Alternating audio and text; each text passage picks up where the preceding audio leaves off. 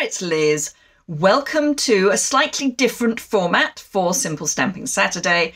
My computer has decided it's having a bit of a blip, so um, I just wanted to make sure that I got this recorded ahead of time.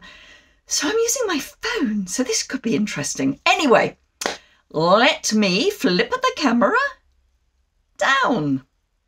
So today I'm using the Sending Cheer bundle, which is the stamp set, and I had them just now.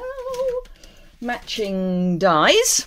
So the dies come with a stocking, a Santa hat, uh, there's fur for the Santa hat, there's a present, um, there's a gingerbread man, there's a tag, all sorts of goodies. Um, those are holly leaves, the bits to go on the stocking to make it more stocking like. Excuse me and a couple of other tags. So, a really great bundle. Um, I have used it before, but not for some time. So, for Simple Stamping Saturday today, I have got this little card, which is the gingerbread man. I've stamped the face on him. I put sending cheer because that is the most cheerful um, gingerbread man you could imagine. And then, because it's Simple Stamping Saturday, I have stamped on the envelope as well. So let me show you just how simple it is. As ever, I'm starting with one of our standard note cards and envelopes, and on this occasion I'm using basic white. So the first thing I'm going to do is ink up my gingerbread man with pecan pie. So let's ink him up, and I'm just going to pop him down. There's the score line, so I'm just going to stamp him down now I do need to make sure that that is well and truly dark dry before I stamp his face, otherwise his face will kind of disappear um, and become paler. It's a lot, as you can see, before it dries, the ink is a lot darker. So we need this to to dry out before we stamp the face on. But we've got other things we need to do. So I've got the sending cheer, so let's ink that up. That's just going down in the bottom right hand corner there. And then we need to stamp the envelope. So let me bring in a piece of scrap paper, turn my envelope over, and I'm just going to ink up the top of my stamp and then stamp it at a bit of an angle. So we've got a jaunty little gingerbread man in the bottom corner. Again, I need to that, leave that to dry, but that's fine. I'm not going to need my pecan pie ink anymore. So let's pop that to one side. This is nearly dry, so good enough to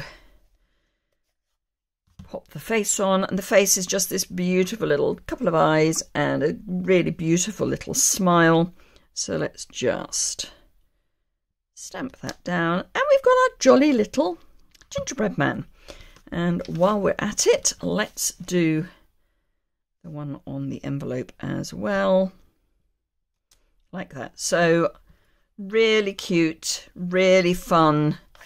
Um, I would be very happy to receive a card with a gingerbread man on. Why wouldn't I be? It's just so jolly.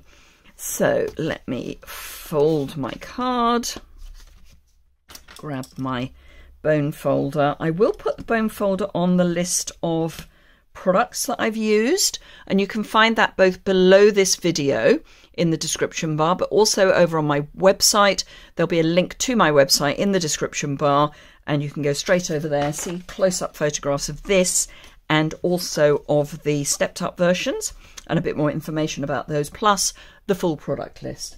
So stepped up versions and again, I had these carefully put to one side and I've buried them. So my first stepped up version is this. So we've got our gingerbread man again. I've added some of the black and white. This is not the black and vanilla. This is the original black and white ribbon, which I've just tied round my um, layer there. I've still got the sending cheer.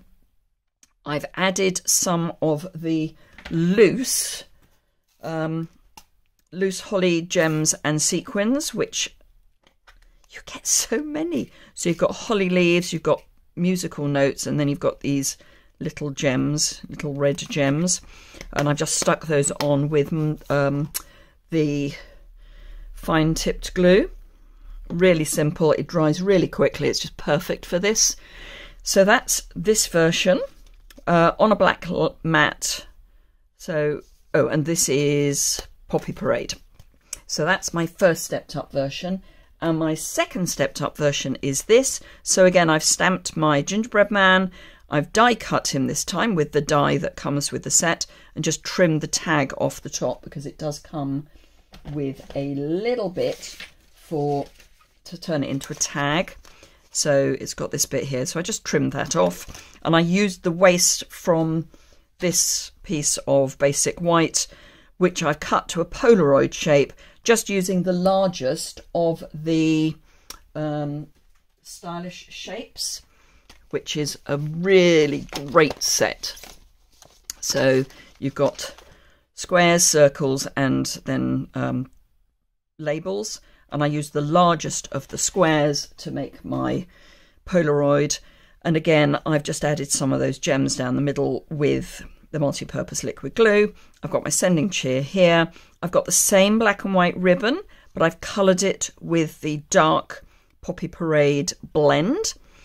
Um, and added some of the merry, bold and bright paper behind. Black layer, so there we go. Those are my three projects. I've also made these, which are for my uh, customers who shopped with me last month. And it's some gingerbread and clove uh, tea lights in a little box that just slides in and out. And I've used the same gingerbread man. And this time I've used the uh, enamel effects basics and I used the first set, so it's the one with the black, red, and white. The white actually has gone a little bit gold because it's taken the ink from the pecan pie, but really cute. And you can see there that it's a tag. So, yeah, I hope you enjoyed that. Very quick video from me today. Do hop over to my website. These uh, will also be featuring on my Instagram feed today because I'm part of an Instagram hop and this is what I am using for that. So lots of places to you to find it. Thank you very much indeed for watching today. Sorry about the slightly different format. Hope you've enjoyed it. If you did, thumbs up is always appreciated, and I will see you again very soon. Bye for now.